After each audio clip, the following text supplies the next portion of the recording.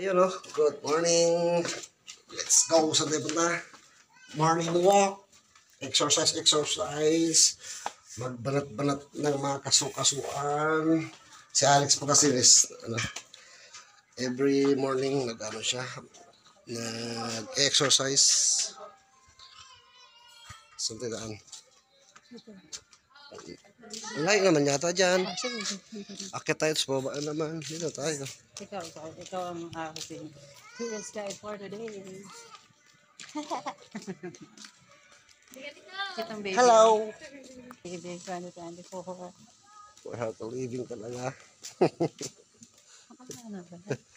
Naman. Ano ba yun? Ganda ng ano ito. Sakto na. Ganda ng weather, no? may araw na rin. Sobrang sikat ang araw, no? So, Sobrahan. full moon yata eh. Aga-aga pa lang. For the sun. Araw na eh. Pero parang bilis natin maglakad. Okay lang. Okay lang? Oo. Uh, mabagal pa. Hindi, sakto lang para pagpawisan tayo ng bongga. Saan tayo ikot-ikot kaya dito? Nasaan tayo dali ng ating mga paa? Yeah. Lakad-lakad po papuntang ano na ito. Ah... ano ito? Papagumbong. Saan tayo dali ng ating mga? Actually- Actually, guys, ginagawa namin ito araw-araw. Pero ito lang yung parang naisipan namin na ipakita sa inyo or document para makasama namin muli kayo. Comment down below. Kung ano naman, o kung ano naman yung ginagawa nila every morning, ano ba ang kanilang nagiging routine araw-araw din. Actually, ngayon lang din po din nakasama si Alex kasi nag-exercise. Nag-pull ups. May ano kasi bumiling pull up bars. Yun ang kinapit niya sa may pinto. Nagiging focus yun si Alex sa ano niya no, sa exercise. Bumibili siya ng mga iba't ibang tools na For para exercise. sa, oo, sa biceps. Nagiging daily, daily routine na nga niya eh. Which is mas maganda naman kasi medyo nagiging chubby-chubby kasi. Pero sabi mo, nga, di ba mas mataba siya noon? Mas mataba siya. Tapos actually, Manila pa lang nag-start na siya ng ganyan. Tapos tinuloy-tuloy niya at mas bongga ngayon yung support niya. Morning walk daw, pero upo daw muna. Actually, may ano po to, may konting, may konting park, Ah, ito park nila. park ng mga bata. Ganda no. Marami. May nagbabike pa. Wala po. Nakali na, please. Nakali lads. Ano, po kami nakapunta rito. Nakaka-refresh. Oo. Parang na-explore pa lang natin yung lugar. Na-explore pa lang natin pero alis, paalis na po kami rito, nagbabalak na actually. Lilipat po kami ng ibang lugar to start talaga totally a new life. Ay, ito dito muna tayo sa ilalim ng.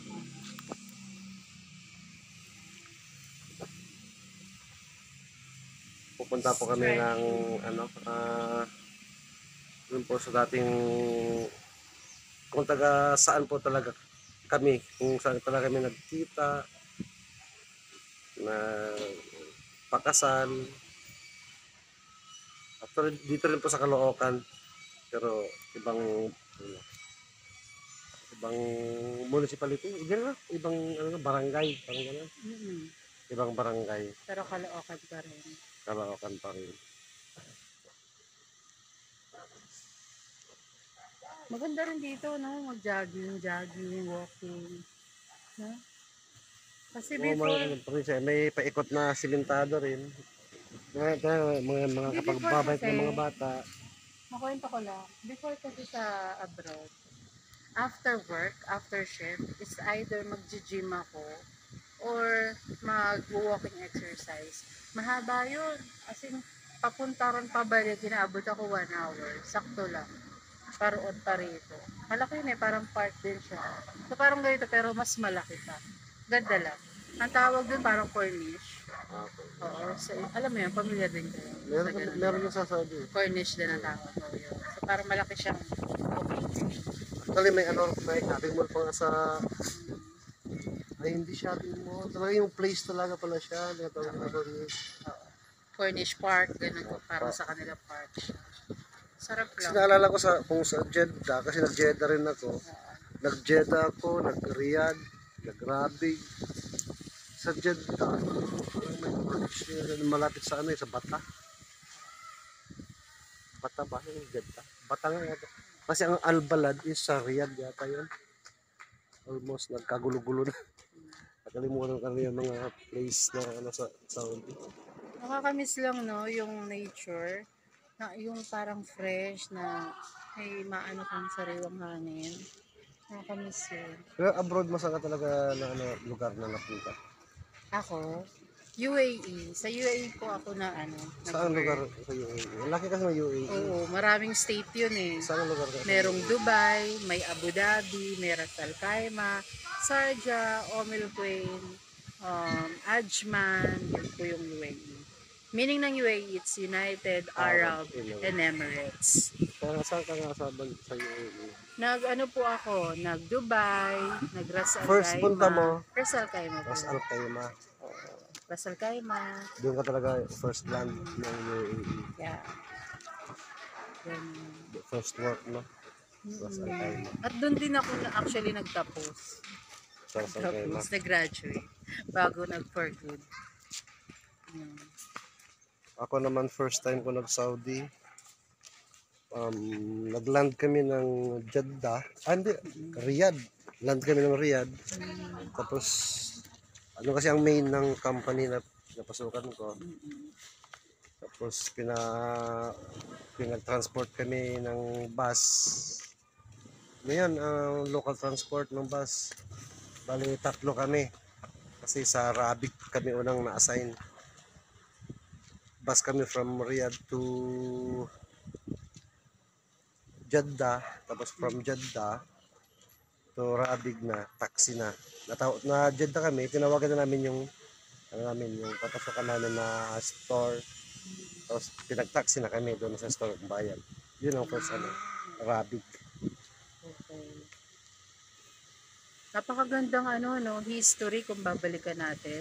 Yung pag-abroad, no? May balak ka pa ba mag-abroad? wala na Mm, for good na. for good Mm. Though maganda mag-abroad din as opportunity, no? Sa mga gustong mag-try mag-abroad, maganda. maganda although andun yung sinasabi nating kaba Oo. takot pag di mo pa na-try Oo. So why not pag-usapan natin? Ano Pero yung isa lang- feelings, yung feeling ng first timer pag nag-abroad? Share natin sa kanila maraming OFW o gusto mag-abroad sa mga viewers natin. Why not? Normal na, na ano po kasi talaga nakakatakot, nakakaba pag wala ka pang experience abroad. Ah, andun yung pag na set na yung araw ng lipad is excite ka na siyempre andun yung takot, kaba, di mo alam yung pupuntahan mo, kung maganda ba ang mapupuntahan mo. Kasi based on mga nangyari sa mga abroad may mga napapahamak mayroon yung napapaganda ang buhay surtihan kumbaga sabi ng surtihan Oo. O, dun muna tayo sa feeling. Nung end ko naman, una kong pag, ano, ng aeroplano, mag-take off na yung airplane. Grabe, naiyak ako.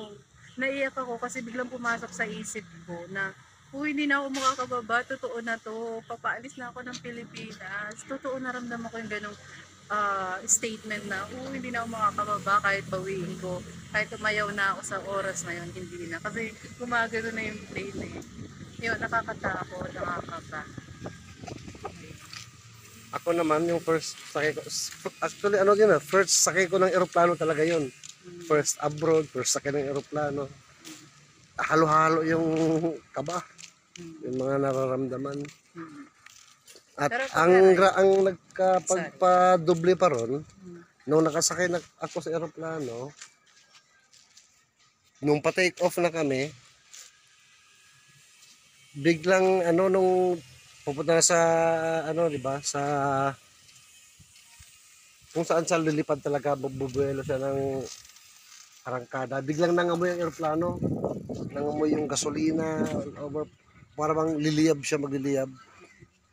Kaya balik ulit kami dun sa tawag doon. Yung sa kung saan siya naka-stay, na kung saan sa kanya Naka-park. naka-park.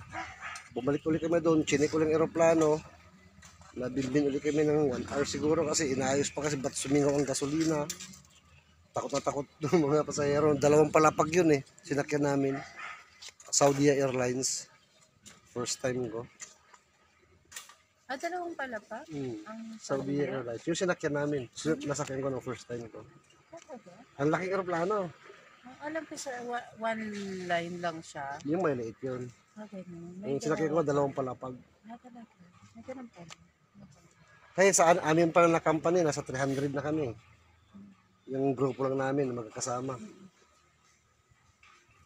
Ano, sa ano naman, nung maayos na, nakalipad kami ulit. It Talaga. took us 9 hours, more than 9 hours bago kami makalapag ng Riyadh. Kami naman, 8 hours.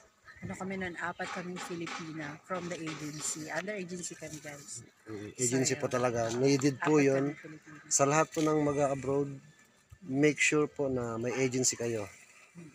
Yung direct hire na tinatawag, oo, maganda, mabilis, pero andun yung, ano eh, ah, parang hindi ka sure. Hindi, Kasi what if? matagal ang proseso. Hindi mabilis, pagka walang agency, walang ano, direct hire, mabilis yun, mas mabilis. Ang problema doon, what if may mangyari, di ba ba? Sinong agency ang maghahawak sa'yo? Sinong agency ang hahabol? At ma... Ano tawag yan? Hahabol ng gobyerno? Wala po. Kaya pagka yung ganun mga direct hire, make sure po na may agency pa rin kayo na ah, kung saan ipapadala yung visa nyo. So, madaling salita, may handler. May handler tayo papunta doon. At may tutulong sa atin. May tatakbuhan tayo in case of any cases. make sure na halimbawa may kumuha sa'yo abroad ah, ready visa na ganun Ah, ipapadala nila yun dapat sa isang agency which is mag ikaw kahit ikaw na pumili ng agency sa nila papadala at least at least doon nila ipadala ng visa yun ang magpa-process na ng papel mo Parang ganun para may agency ka pa rin So, nung nag-land na yung plane nyo, kamusta naman? yun pila uli Oo, no. Ah, sa ano kasi ah, yung anong tawag doon yung ano ka sa mata Tapos may mga ibang lahi na, parang oh halo-halo na wondering ka na, uy, may ibang lahi na rito, nakaputi, no, nakabalot Mm, sila. nakatob. Tsaka ang ano pa doon, isang makakapagbigay ng kalituhan sa iyo is yung language. Yung mga ugali nila. Siyempre, ibang-iba sa Pilipinas. Yung pagkasalita nila, hindi mo maintindihan at first. Yes. Pero nagbaon tayo ng mga basic, 'di ba? From the agency, pinag-aralan natin, may book silang binigay, 'di ba? Para aralin natin ng paunti-unti lang as ano. Nasa inyo meron. Oh, meron. Sa ano wala. Kami, ako, totally wala akong alam na isang Arabic word man lang Yeah. nung umalis ako. eh. Kasi parang initiative na rin po nung, di ba, pupunta ka ng Korea, kahit hindi lang sa, sa mga Saudi Ah, Middle mas East. maganda may baon ka rin. May initiative ka mag-aral, alamin yung culture, yung language, other people, ganun po. Yung kaugalian nila, Language. yung dos and don'ts, yung mga bawal sa lugar. Yes, correct. Isa yan sa may tinuturo sa PIDOS. Yes. Kaya may pidos pa tayo. Para may respeto tayo sa mga kultura. Ah, alam natin yung bawal sa kanila. Correct. Kasi dati wala akong alam talaga sa ano, Arabic. Pero ngayon, marami-rami na tayong baon. Kasi ano naman po eh, andun yung willingness ko to learn uh, ASAP. Yun talagang baon-baon ko kahit saan ako pumunta eh. Na kailangan matutunan ko agad ang isang bagay as soon as possible. Kaya nung pagdating ko doon, service crew po, to be exact yung unang trabaho ko eh. Pagdating ko doon, after 3 months, naging supervisor na po ako. Kasi andun yung willing to learn ko na matuta matutunan tulad halimbawa ng mga language nila, makipag-communicate sa kanila, kung ano man mga kailangan nila, sumagot ng phone, pag may orders, gano'n. Kaya natuto akong mabilis sa ano, language sa Arabic. Love, natutuwa lang ako sa puno na to. Oh. Bakit? Ang ganda. Yun, Gawin natin background. Ang ganda lang. Yun. Ayun. Para nature. Paikot mo. Pakita natin sa. Ang ganda. Wala na. Diyan na lang. Ayan. So nakakatawa lang talaga yung nature. Gawin natin background yung nature. Ah, dito tayo. Actually, nature lover din ako eh. Mas gusto kong tumira sa bukid.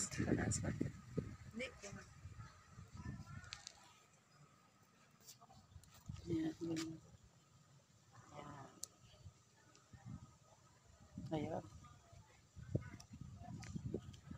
Saan na tayo nun?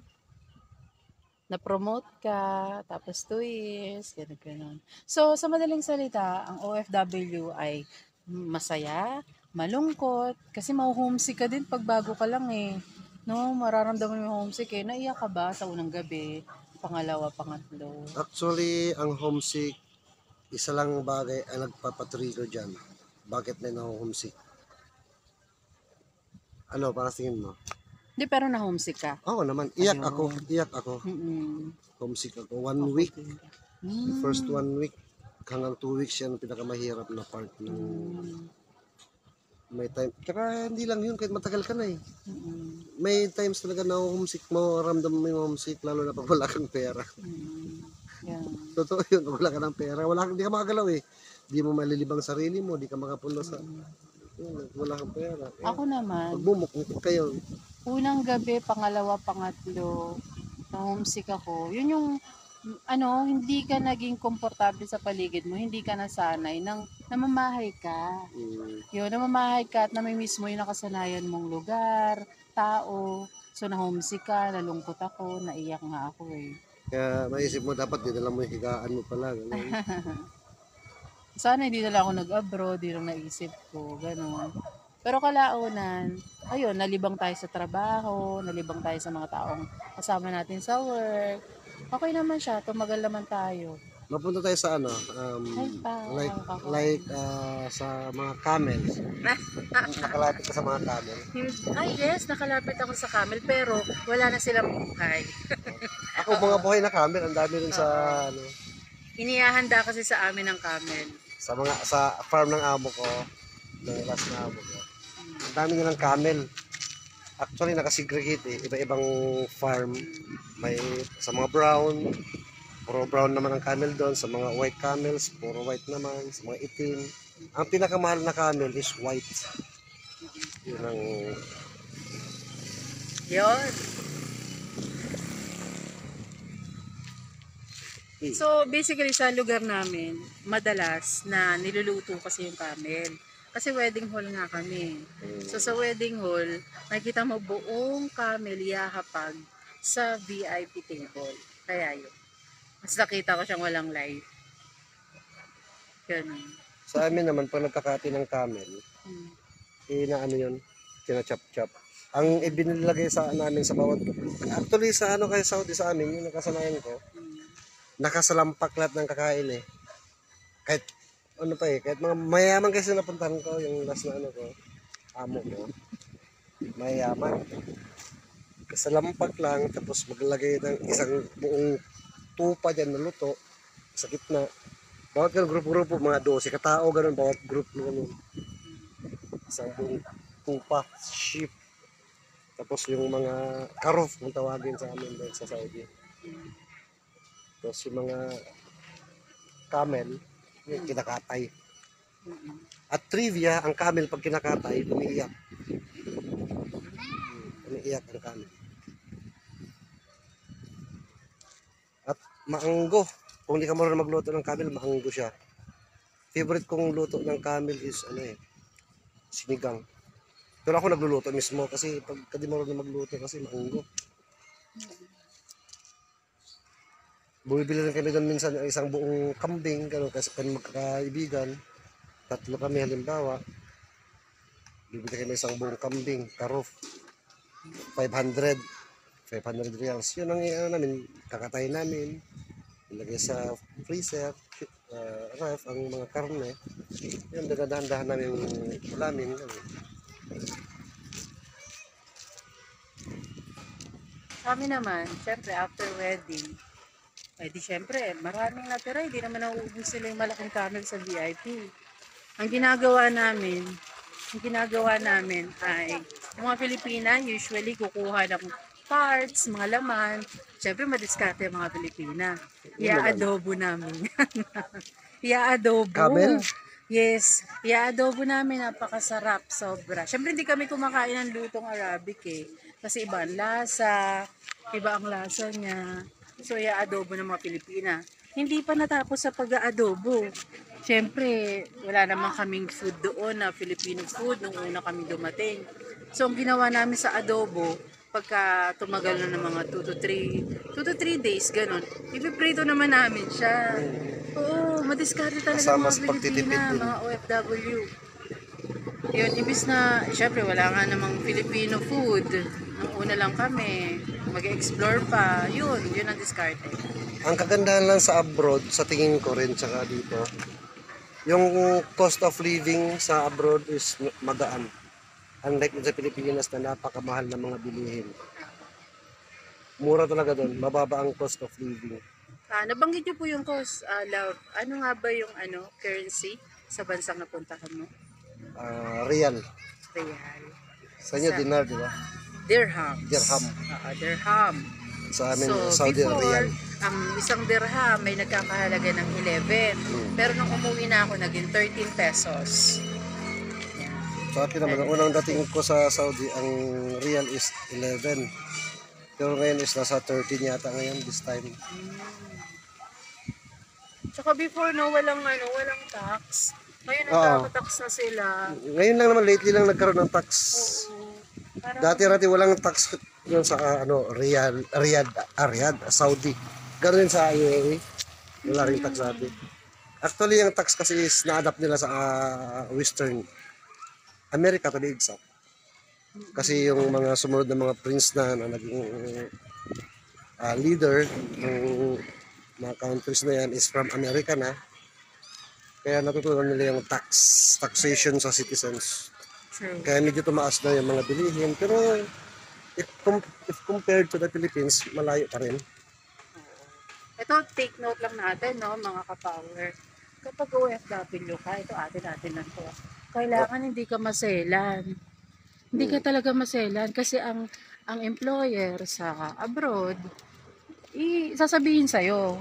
Sasabihin sa'yo ang mga dapat mong gawin. Ito, ito, ito. Kahit hindi naman yun yung pinirmahan mo sa kontrata. So Ah. maging flexible ka, doon ako natuto ng iba't ibang gawain. Natuto ako na magluto kahit hindi pa rin ako marunong hanggang ngayon. Yun.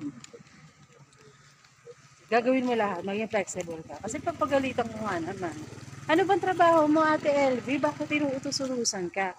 Ito yun. Una kong pag-landed sa UAE. Ang kontra... Landed talaga ako pag Mm. land. Oh. Nung nag-land ako sa UAE, waitress yung kontrata ko. Kasi take it or leave it eh. Ang importante sa akin, nakapag-abroad eh. Hindi mo naman agad makukuha talaga yung skill mo na kung ano pinag-aralan mo. Walang gano'n. Mga kababayan. mga minamahal namin viewers. So kahit ano na makapag-abroad lang. So waitress sa wedding hall. Ang kagandahan nito, luckily, awa ng Diyos, after one year, nakita nila yung papers ko. Tapos nakita rin nila yung potential ko sa pakikipag-usap. And after one year, na-promote po tayo maging ah, one of their staff sa office nila. Yun. Kasama nun, akala ko sa office lang ako mag-work. Yung pala, sa wedding hall, kapag kagabi kasi, merong kasal, syempre. Ngayon, inassign na rin kami mag-supervisor. So, nagsusupervise kami from morning till dawn. Alam mo yun, till midnight. Hanggang sa matapos ng kasal, minsan madalit araw na nga eh. Talagang nagsusupervise mo ang ganap. Ganun, kailangan walang aberya, lahat. Kailangan makater mo yung super, uh, mga, ano, mga customers, ganyan, mga guests. Pero marami kami Pilipina nagtutulungan. So, ganun siya. Lesson doon, flexibility. Ganun. Siyempre, Pero mamanage. dep- depende rin kung saan ka makapunta. Sabi nga, kaya nga sabi ko, surtihan din pag-upload. Eh.